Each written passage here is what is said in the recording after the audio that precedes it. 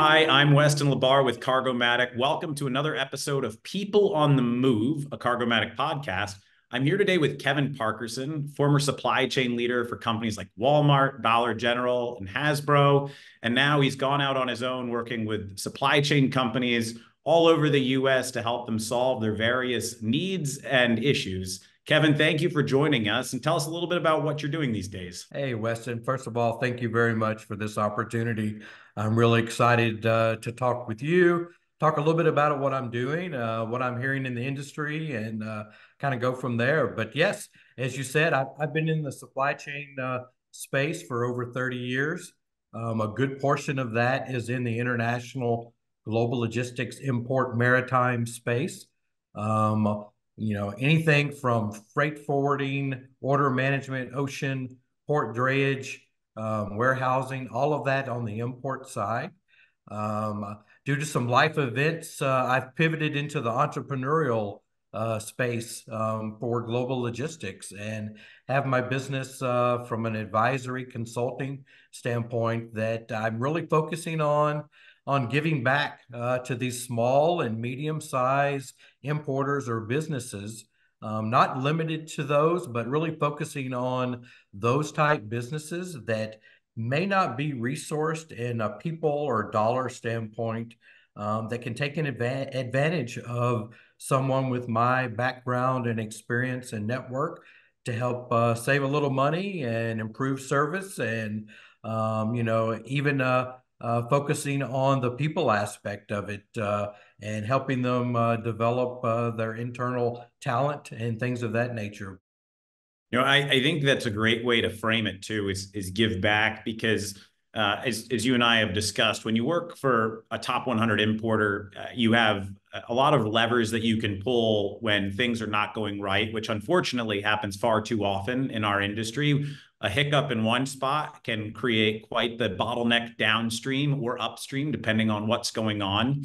Uh, and when you're Walmart or Dollar General or Hasbro or any of the other top 100 importers, you, you have a, a few resources at your disposal that many small shippers either don't have or don't even realize they have. And so, talk a little bit about what are some of the unique experiences that you've you've seen um, going from working in-house at a very large importer to advising importers of all sizes. Um, and, and what are some of the real themes that you've seen based on uh, getting in and digging in? Is is it around talent and not having teams? Is it around relationships and not understanding who's the right person to call? What are some of the things that that you've learned uh, working with the broader community? Because I, I, love the way you phrase that. Now you're, you're giving back. You're taking that knowledge and and helping bestow it upon a whole host of people that probably just don't even know where to start. Yeah, well, that that that's exactly what it is, Weston. Um, you know, not knowing where to start, and as I put together my business plan and my business model, um, as I set out on the entrepreneurial journey um, and creating this consulting advisory business, I knew that there would be, you know, an opportunity to, you know, to give back and educate. But I've been just thoroughly um, impressed with the openness that uh, uh, these small and medium size, you know, the vendor community. Um, I'm based in Northwest Arkansas, so there's a large um, vendor community um, that I've been able to plug into and uh, really um, start uh, uh, just sharing with them my history, my background, and from there, developing the relationships to allow them to open the door to their supply chain. And then that's when uh, that's when the the magic starts to happen because you start then understanding that it, it it's it's really you know in many cases all over the place. Some supply chains are very very um, mature um, and and can be complex, and others are in the infancy stage. Um, and that that's where I've really been able to to come in and help guide and advise on how to build that supply chain out um, from the ground up. In some cases, in other cases, it's more enhancing um, that network. But some of the themes really are, you know, it it, it comes right down to the basics. Um, there were a lot of the things that were applicable in some of the larger companies that I've worked for. You know, having that that flexibility that nimble uh, network um, and adaptability of the network um, and then also embracing technology. Um, you know, it's it's really uh, it's been really um, exciting for me to um, explore what is out there in the network because, as you said, I've I've uh, had relationships and worked for large companies. I've had the visibility um, and the access to some pretty large companies and some pretty cool um, technology offerings. And now I'm able to, um, I've been able to explore um, what's out there, what's new and upcoming. And a lot of that is really, really exciting, but a lot of it has application not just to the large guys, but to the small and medium size importers as well. And then, you know, really the foundation of a lot of what um, I work with uh, clients on are really fostering strong partnerships in that relationship piece um, of this industry, um, which I know um, you and I um, have talked a little bit about how important that is in this uh, in this time and in, in this industry. Um, that's really been the foundation of of, of my career um, from the very beginning. A lot of great mentors and leaders um, set that foundation for me, and that's a big uh, foundation of of my my business as well. So that's you know really a lot of what um, I work with clients on is developing those strong partnerships. Um, to help them navigate through the complexities of of the industry and the thing the challenges um, because of uh, my background and experience in the companies I've been blessed to work with, um, you know, I've got a very vast, wide, and deep network that I can tap into. Um, that I've developed these partnerships and relationships with um, that have some application for some of these small and medium-sized uh, importers. So um, it, it's really, uh, you know, the basics um, that a lot of these clients are really looking and businesses are looking for um, to help establish um, a, a, a, adaptable, flexible um, supply chain network. Um, and I'm really excited about uh, um, that aspect of the business. Yeah, and I, I can imagine each individual uh, customer of yours, client of yours, is dealing with their own unique set of circumstances, right? They're going into different ports, they have different vendors, uh, different potentially product lines and customers, et cetera. What are some of the big topics of discussion that are are eating away at your current clients? Yeah, yeah. Well, what's what's top of mind right now for a lot of them are you know the current the current uh, uh, timeline of the industry, which is ocean contract uh, renewal process. Um, thankfully, I've been able to get in on on the beginning stages many many months ago. Um, months ago, um, it is a process. You know, it's not, you don't start this in uh, March and finalize it in April. Um, but uh, the contract renewal process and getting on the beginning stages of assessing um, the network, um, defining what those objectives are, uh, really looking in the mirror um, at yourself as a, as a company and what you have to offer and being that that customer of choice um, and really understanding what it is that you need and what you bring to the table. Um, but contract renewal, it really is, uh, you know, a hot topic. Um, also, the geopolitical um, situation and, you know, the Red Sea, the Panama Canal, uh, potential labor disruptions, ILA um, on the East Coast. Those are things that um, some of the uh, more mature supply chains um, and maybe a little bit more advanced in their annual renewal contracting process. Um, if I'm not advising on the renewal process, um, I definitely am um, guiding them and helping uh, contingency planning um, and incorporating that into the contract renewal process as well um, for what's going on in the world, uh, whether it be the Red Sea, or Panama Canal, or ILA. Yeah, and before we get into contingencies, because as we all know, um, I, I, used to joke uh, every year, you know, oh, this is a once in a lifetime event. Well, I, I've had at least one once in a lifetime event every year I've been in this industry. So at a certain point in time, you you just know that things are going to go awry. There will be disruptions. You don't know when they'll pop up and what they'll look like, but you need to have backup plans because I believe gone are the days of set it and forget it. You're, you know, you you put all your orders in with your vendors and it just works. You, you need to have the right partners, the right vendors, the, the type of folks that can actually service you where you need to be serviced, how you need to be serviced. Um, and, and, you know, whether that's on the land side, transportation side with a company like Cargomatic, um, or whether, as you talk about in your ocean contract negotiation, are you seeing shippers uh, going through this year's negotiation? I'm hearing that prices, you know, may may have moderate, uh, or I should say very modest increases, not very high. Most shippers think they're gonna be able to get somewhere in the ballpark of what they've been paying.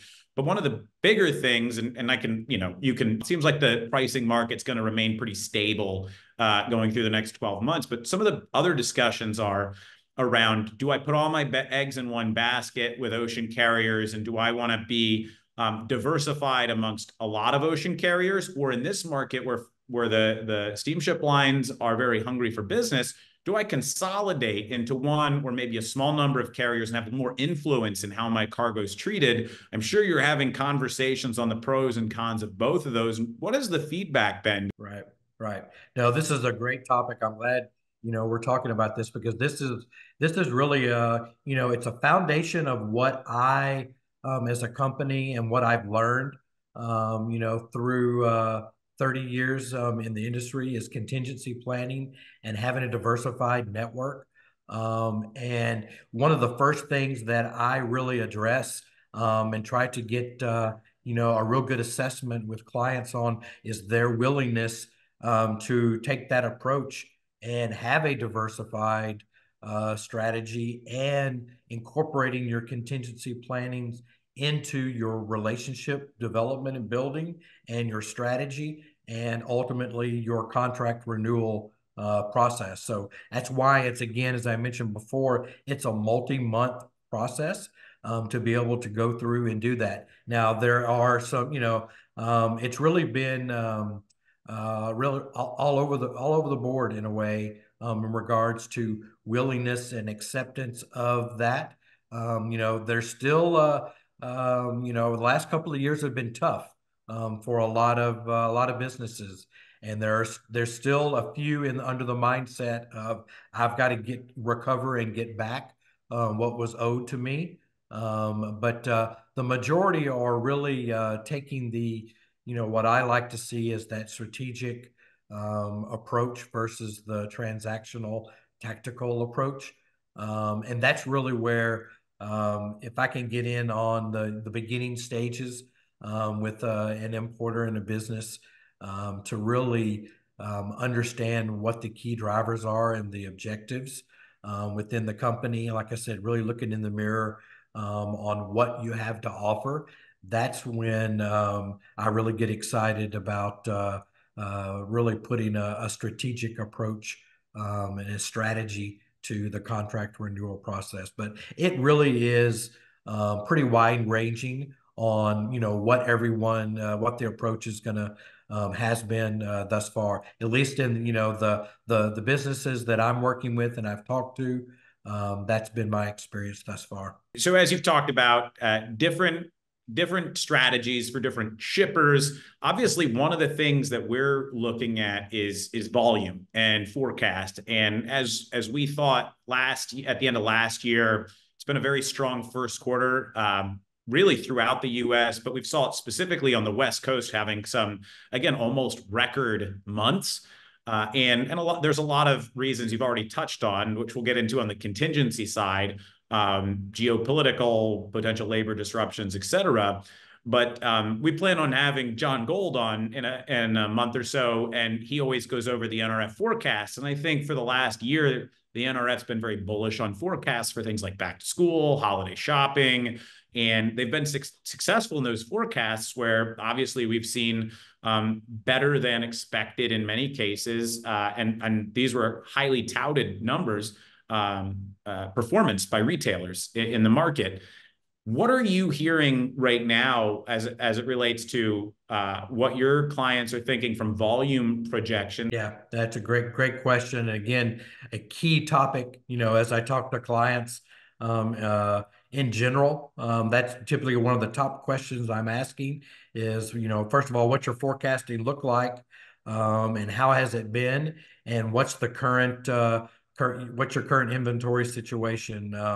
What does that look like? And I can tell you, Weston, you know, probably in the last, uh, you know, since the new year, the vibe is a lot more optimistic, um, and the vibe is a lot more, um, you know, uh, uh, a little bit more clarity on what the year obviously um, is going to look like as we get closer and closer to the summer months and uh, the fall. A lot more clarity on exactly what that's going to look like. But the vibe um, from the clients that I'm talking to, um, it, it's very, very optimistic and very positive versus, you know, last fall, um, a lot of uncertainty, um, a lot of ambiguity, um, a, a, lot of negativity in regards to what 2024 um, would look like from a, a, forecasting volume standpoint. I will say most everybody at this point feels really good about where their inventory levels are at, which tells you, you know, um, um again, uh, the last couple of years. Uh, that's been a, a, big challenge, but I believe most everybody feels that they've come out of that um, with a really good uh, uh, a good positioning um, from an inventory level standpoint. I still don't think that a lot uh, really have their arms around, um, you know, in the event something like that would happen again, um, that they would have their um, a good process um, in place from a demand planning standpoint and forecast.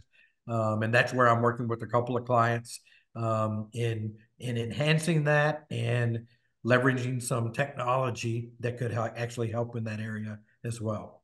yeah, and that's that's a great segue into the contingency planning because you you brought up some interesting things that any one of them by themselves create uh, issues for shippers, whether it's geopolitical issues in the Red Sea, creating longer lead times to be able to get your product that was already in transit uh, to U.S. ports, uh, whether it's the Panama Canal and you know shifting trade lanes, then trying to leverage the Panama Canal for access points to Gulf and East Coast ports from from Asia, or, or whether it is the looming uh, you know labor negotiations uh, that haven't been finalized and, and, ratified with the ILA on the East and Gulf Coast.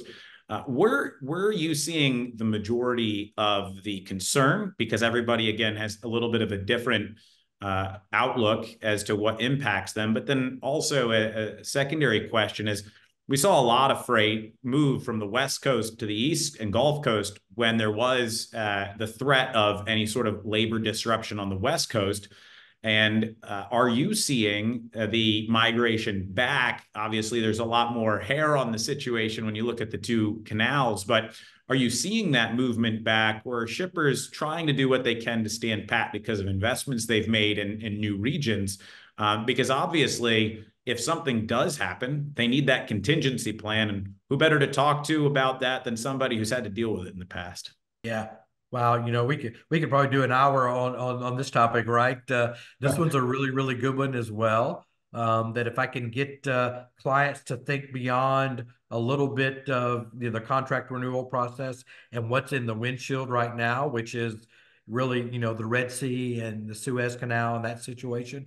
What you know, what I always tell everybody, and you hear everyone say, and you know, we heard it at TPM as well. There is not a crystal ball that tells you um, how these are going to pan out and what the next one is really going to be. Um, but from a contingency standpoint, and this is where um, you know I, I really, really focus on um, developing a network and working with partners so that when the next event, whatever that may be, and if it's an ILA um, labor, you know, situation disruption or some other geopolitical beyond the Red Sea or the Panama Canal, um, that the network is ready uh, and nimble enough and flexible enough and diversified enough to be able to handle and manage that um, and quickly. Um, I'm not hearing and seeing a lot of um, at this point, uh, um, you know, shifting of cargo um, from one one area to the other. I'm not a real big proponent of the the major shifts. I am, you know, a real big proponent of identifying, you know, critical cargo and having plans for that and understanding and knowing from a timing standpoint um, how to plan for that type cargo um, versus um, a major shift. Um, a major shift in any network is extremely difficult and costly, um, and maybe can and should be done in certain situations.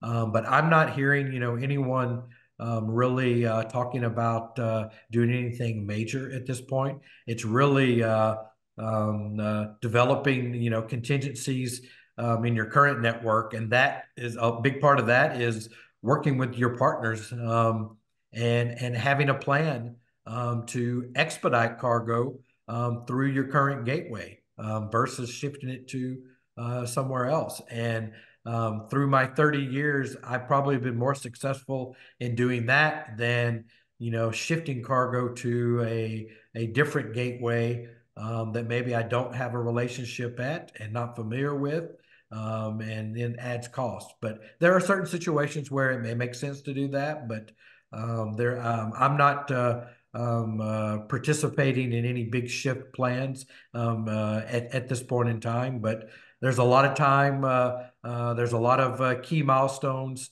um, in in the ILA labor disruptions that I think everyone needs to stay really, really close to. And again, be prepared for and have a network and incorporate it into your contract renewal process today. Um, and then as soon as you get done with that, be prepared to uh, to visit with your uh, service providers to to make sure that the plan is ready to execute.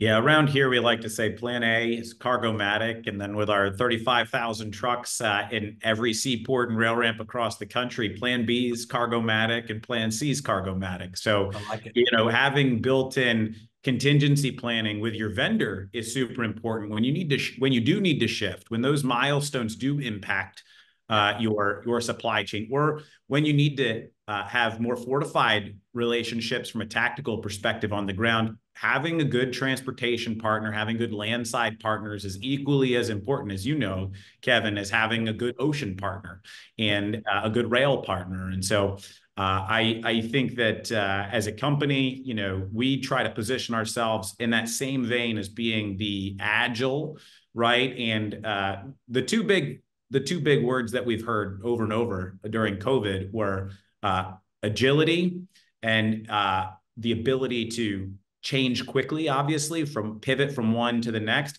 And, and the other was uh, the ability to have contingency plans, right? And having flexibility built into your supply chain. And so you're advising them. We're trying to do it as well every single day. And uh, for the customers that have embraced the ability to move quickly uh, I, I, think they've seen less impacts to their supply chains. Um, that that leads me into a next question, though, because one of the contingency plans some folks have in these situations is front loading, and obviously with a lot of the uh, cargo upticks we've seen here in Q1 of 2024, uh, there's some feeling is is this because of inventory replenishment because people are comfortable with where their inventory index is or is that uh, front is it front loading? Because they do know there are potential challenges down the road. And they're saying you know what? We have some key milestones throughout the year. Let's try to get our freight in maybe a little bit early and and try to reduce any risk of bottlenecks down the road. Uh, are you seeing front loading yet? Or, or is that something we still may see? Is this just normalized increased volume? Yeah i think it's, it's a mix of all of that weston. You know there is a little bit of front loading for very commodity driven, very specific to certain industries. Um, but uh, um, right now, and probably in the next 30, 60, 90 days, um, we'll get a lot more visibility and clarity to, to if that front loading will continue to ramp up a, a little bit more. Um, you know, that, that definitely is a, a lever to pull and needs to be a part of your contingency. But you really have to have uh, a really good uh, demand planning um, and internal visibility to exactly what those items um, are and working with your manufacturer vendors to be able to um, produce and to be able to do that. And then, you know, obviously you've got to have uh, um, some really good warehousing distribution partners um, that can help you in those areas as well. Um, it's not a knee jerk type, uh, or if it is a knee jerk for you, it's probably not going to end very well. Um, it shouldn't be a knee jerk. You need to be preparing uh, for that. But I'm I'm not I'm not aware of anything um, significant. I think, uh, like I said, it really is a mix. Um, a good portion of it is right sizing a little bit of the inventory levels that we were talking about before, um, because I think that has been depleted um, quite a bit uh, in certain areas um, for certain commodities for certain retailers. Yeah, I I agree. Everybody uh, has their own unique needs, as we've as we've said. Uh, so last question, um, and I think this this one may be the most important. Uh, what would you say at very high level, the top three just pieces of of uh, advice that broadly apply for shippers what are the top three things that you think that shippers should be looking at as they're going into 2024? Um, just as a, as like I said, high level, 30,000 foot. If you're not doing this, you're doing something wrong and probably need somebody like you uh, to come in and help uh, advise them on, on how really to address these types of, of concerns. Yeah, the number one is really your service providers, you know, um, and those relationships if they are needing to be mended or if they're needing to be developed, enhanced.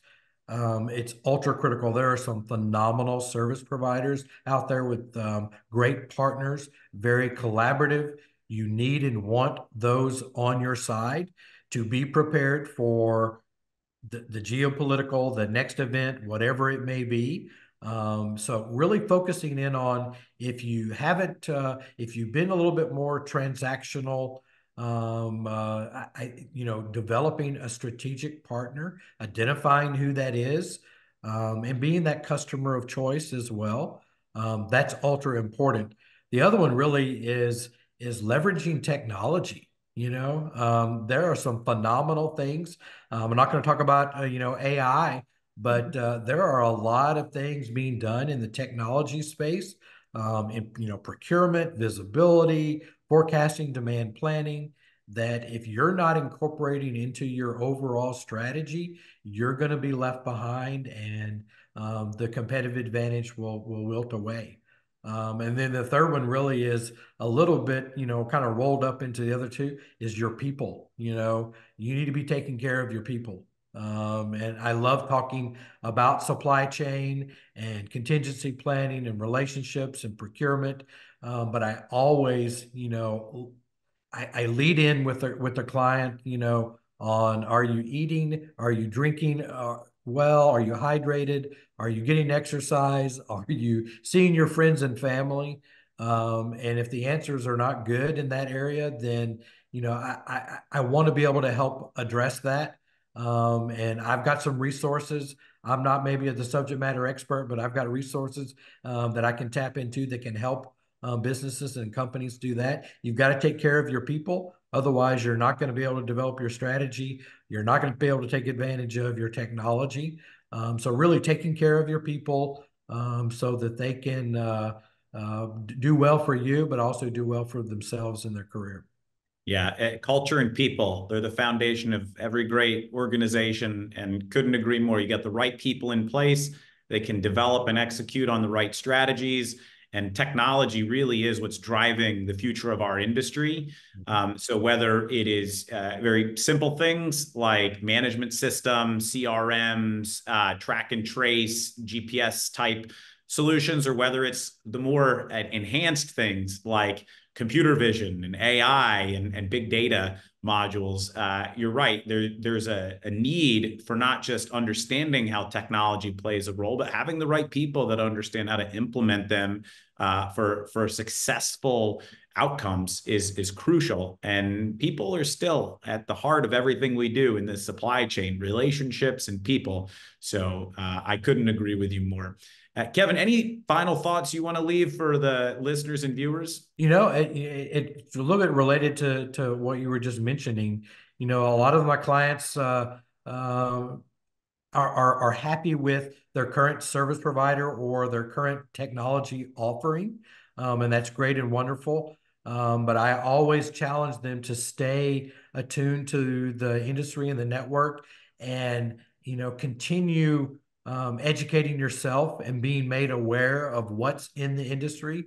Um, that's probably you know one thing. If I look back at my career, I wish I'd done a little bit um, a, a, better job of doing of staying um, uh, attuned to the network, uh, the industry. So if you're happy with your service providers and technology offerings, that's great and wonderful. But I would stay connected with what's going on in the market and industry so that you're not left behind. Um, so stay engaged. I can help in those areas. Uh, like I said, I have a, you know, a very wide and deep network that um, can make some connections for you to um, just be aware of what your competition uh, might be doing, uh, what offerings they might be exploring, what's being developed in the industry. Um, the industry changes pretty quickly um, uh, in in that regard, and it is right now. So I would just challenge everyone to kind of stay stay close to that, um, and if I can help in those areas, I'd love to be able to do that. No, I I hear you loud and clear. Uh, what I'm hearing loud and clear is if you don't have somebody like Kevin advising you, telling you where the different potential pitfalls are in your supply chain, you need to get an outside set of eyes on it and understand where where maybe there's some blind spots. And again, everything that you've talked about points to one thing, which is you need to have a vendor like Cargomatic that can partner with you everywhere, has has next level technology, and has the relationships to really get things done. So, Kevin, I appreciate it on behalf of all of Cargomatic. We appreciate you joining us for this episode of People on the Move. Uh, keep us in mind as as you continue to advise where there's good fits, obviously, and we'd love to have you on down the road again to hear what you're hearing from your customer base, your clients, and just what you're seeing uh, as a as a veteran of the industry. So, for uh, for this episode of People on the Move, I'm Weston LaBar with Cargomatic. Until next time.